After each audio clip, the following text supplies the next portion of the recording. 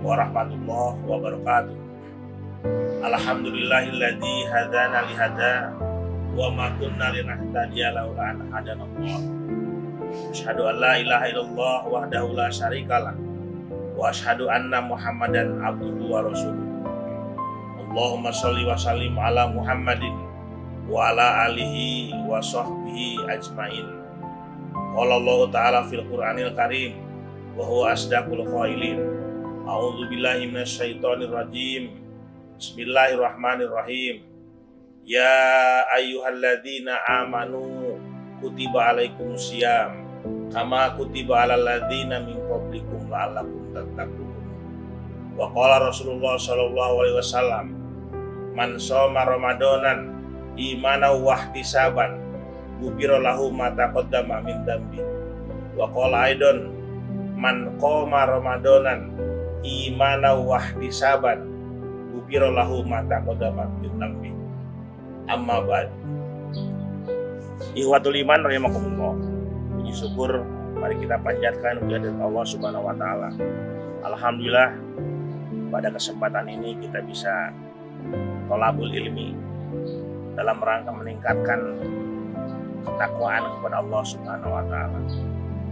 Salawat dan salam semoga tetap tercurah kepada baginda besar Nabi Muhammad SAW. Hadirin rahimakumullah. Pada hakikatnya ibadah saum diwajibkan kepada kita dengan satu tujuan yang utama, yaitu adalah membentuk pribadi yang takwa. Takwa dalam arti menjalankan seluruh perintah Allah Subhanahu wa taala dan menjauhi seluruh apa yang dilarang oleh Allah Subhanahu wa taala. Seperti tadi disampaikan dalam pembukaan wahai orang-orang yang beriman diwajibkan kepadamu berpuasa sebagaimana telah diwajibkan kepada orang-orang sebelum agar kalian bertakwa menjadi orang yang bertakwa. Hadirin rahimakumullah. Pada kesempatan ini saya akan menyampaikan apa efek puasa terhadap diri kita. Mengajarkan apa saja puasa kepada diri kita supaya kita menjadi orang yang bertakwa. Ihwatul iman rahimakumullah. Ada lima hal yang puasa ajarkan, yang puasa didik, yang puasa latih kepada diri kita selama melaksanakan ibadah puasa. Hal-hal itu adalah yang pertama, puasa melatih kita untuk menjadi orang yang sabar. Seperti halnya Rasulullah SAW bersabda, Asaumu nispu sobri. Puasa itu adalah setengahnya dari sabar. Bagaimana tidak? Ketika kita menjalankan ibadah puasa, kita harus bersabar untuk menahan haus, menahan lapar. Kita harus bersabar melihat orang lain yang sedang minum di siang hari, yang sedang makan di pagi hari. Kita juga harus menahan ada ancaman dari orang lain atau orang lain mengajak berantem dengan kita, mengajak berdebat yang tidak sehat dengan kita. Rasul menganjurkan untuk kita mengatakan anna so'imun. Maaf, saya sedang berpuasa. Tapi bukan berarti nanti saja berantemnya setelah lebaran. Hadirin rahimakumullah. Itu yang pertama. Jadi puasa mengajarkan kepada kita untuk menjadi orang yang sabar. Inti dari sabar adalah bisa mengendalikan diri dari hal-hal yang frontal, dari hal-hal amarah, mengumbar nafsu, dan lain-lain. Yang kedua, puasa mengajarkan kita untuk terbiasa hidup sehat. Dalam hal ini Rasul bersabda, sumu tasihu. Berpuasalah kalian. Pasti kalian akan sehat. Bagaimana tidak sehat? Kalau perbuatan, perilaku, aktivitas selama saum Ramadan ini kita serap intisarinya apa, substansinya, kemudian kita lakukan pada keseharian setelah bulan Ramadan. Kita lihat pada bulan puasa atau pada bulan suci Ramadan, kita orang yang berpuasa makannya dibatasi hanya sampai dari pagi mulai subuh. Subuh harus sudah berhenti. Begitu adan subuh, begitu waktu subuh, stop, imsakun. Kita harus berhenti makan minum. Sejak itulah kita harus menahan makan minum hubungan intim dan lain-lain seperti yang diceritakan dijelaskan dalam fikih itu berlaku sampai maghrib. Setelah maghrib, setelah adan maghrib, setelah waktu maghrib masuk, baru kita boleh makan lagi. Kemudian, ketika buka, Rasul menganjurkan untuk mempercepat berbuka. Manusiawi. Ketika sahur, disunahkan untuk mengakhirkan sahur. Mengakhirkan sahur. Itu sunat hukumnya. Jadi puasa itu tidak penyiksaan diri, tetapi puasa merutinkan sesuatu yang teratur. Kita makan sehari dua kali setelah berbuka, kemudian sahur persiapan untuk berpuasa. Kalau kita terbiasa makan minum teratur, baik itu makanan dan minumannya yang diatur oleh Allah dan kegiatannya pun makan minum teratur, kemudian gizinya juga seimbang dan lain-lain, maka insya Allah kita akan menjadi orang yang sehat. Jadi mari kita ambil keteraturan yang seharusnya kita lakukan dalam bulan puasa menjadikan kita teratur setelah bulan puasa dalam makan dan minum. Itu yang kedua. Yang ketiga, puasa melatih kita untuk hidup jujur. Jujur itu berkata apa adanya. Kemudian kita tidak pernah berdusta baik kepada siapa pun. Bagaimana tidak? Orang yang berpuasa yang tahu hanya dirinya dengan Allah Subhanahu wa taala. Orang tua bisa dibohongi, pasangan hidup, istri suami bisa dibohongi, anak bisa dibohongi, guru bisa dibohongi, siapa pun bisa dibohongi. Tetapi dirinya dan Allah tidak bisa dibohongi.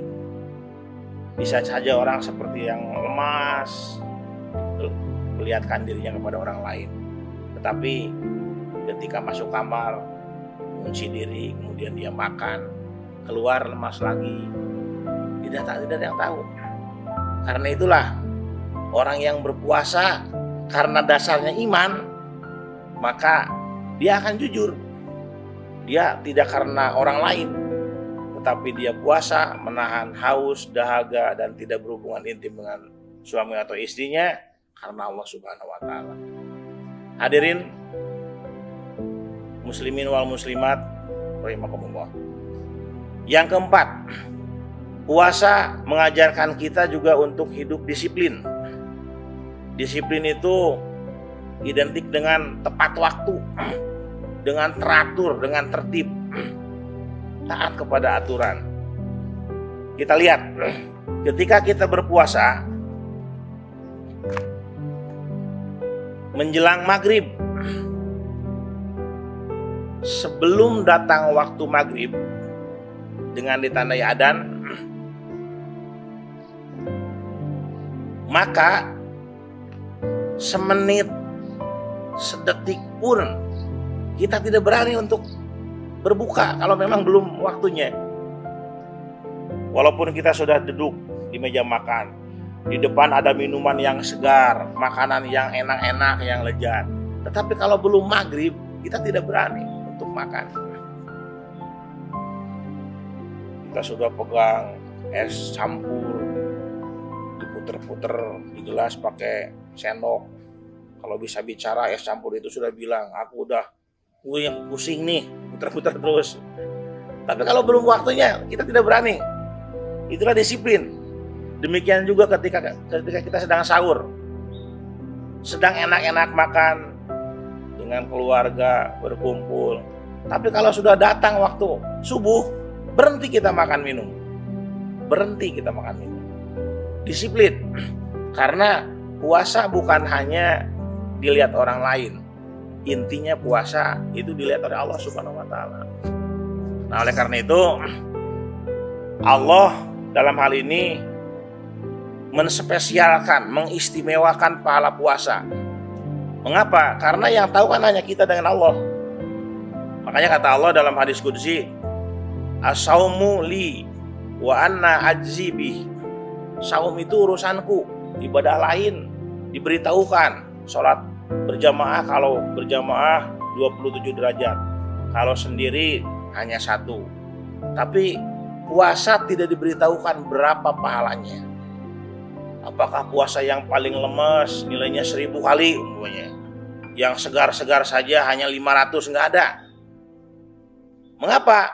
Sebab dalam ibadah puasa bisa membohongi orang lain.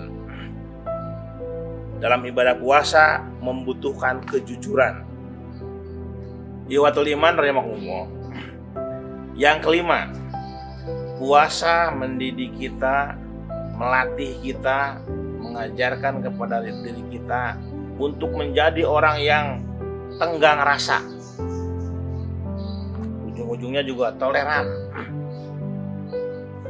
Kita lihat ketika kita sudah berpuasa sejak pagi menjelang siang sudah terasa mulai lapar, haus. Kemudian menjelang sore minggu pertama, kedua belum terasa. Minggu ketiga, keempat itu mulai terasa pengalaman. Minggu ketiga, keempat haus dan haus dan lapar sudah mulai terasa di atas mulut. Nah, di sanalah kita merasakan bagaimana susahnya menjadi orang yang sengsara. Kita tidak makan, nanti maghrib pasti ada. Orang tua pasti menyiapkan. Kita mampu menyiapkan. Tapi orang yang miskin, orang yang tidak bisa me membeli makanan minuman, bahan makanan yang pokok, mereka untuk makan sekarang saja harus mencari dulu. Dalam keadaan lapar dia mencari, ada yang mengemis, ada yang halus bekerja kasar dulu padahal dia lapar. Seperti hanya dulu ada kerja paksa di negara kita ya ada prodi dan rumusan. Kadang-kadang mereka sedang lapar harus bekerja. Nah di sinilah akan akan menyadarkan diri kita betapa tidak enaknya menjadi orang yang susah orang yang sengsara. Nah orang yang punya hati pasti ada efeknya yaitu dia akan akan simpati akan empati akan empati kepada orang yang susah. Ketika bertemu dengan orang yang kelihatannya tidak seger atau lesu, lesu banyak pikiran, dia akan empati. Seperti halnya dia merasakan ketika puasa. Saya ketika puasa merasa lapar saya tidak enak. Alangkah bahagianya dia kalau saya kasih. Maka berapapun yang dia punya sisihkan sebagian hartanya Itulah puasa melatih kita, mendidik kita, mengajarkan kepada diri kita untuk menjadi orang yang tenggang rasa, merasakan penderitaan orang lain. Dan di sanalah berkaitan dengan kita harus gemar sodakoh, sodakoh jariah. Hadirin wal hadirat rahimakumullah. Demikianlah puasa mengajarkan lima hal kepada kita, yaitu Puasa mengajarkan kita untuk terbiasa hidup sehat. Puasa mengajarkan kepada kita untuk terbiasa sabar. Puasa juga mengajarkan kepada diri kita untuk senantiasa jujur. Puasa mengajarkan kepada kita untuk tetap disiplin di mana pun, dalam kondisi apa pun. Dan puasa mengajarkan kepada kita untuk memiliki kepekaan, kepekaan sosial, punya rasa tenggang rasa, itu semua dalam rangka menca mencapai derajat takut menjadi orang yang takwa. takwa sendiri adalah taat kepada Allah.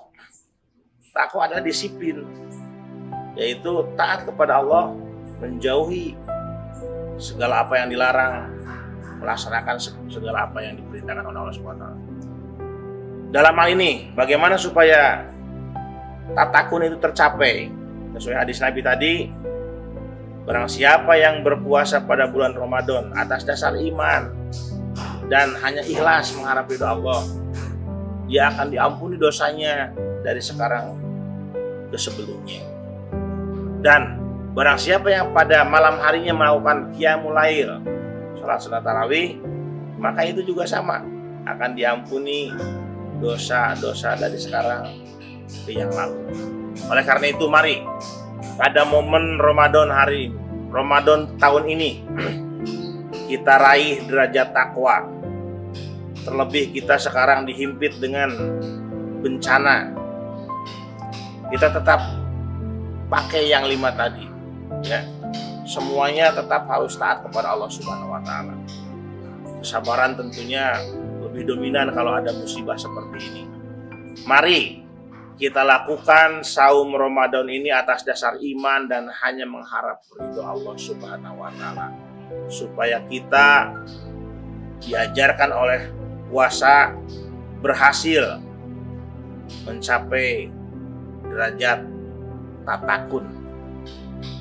Mudah-mudahan semua berhasil dan mudah-mudahan Allah Subhanahu wa taala memberikan kekuatan kepada kita untuk selalu semangat beribadah, semangat mengisi dengan aktivitas yang banyak, lebih banyak dari biasanya pada bulan Ramadan ini sehingga kita menjadi waliullah, menjadi waliullah, menjadi kekasih Allah Subhanahu wa taala.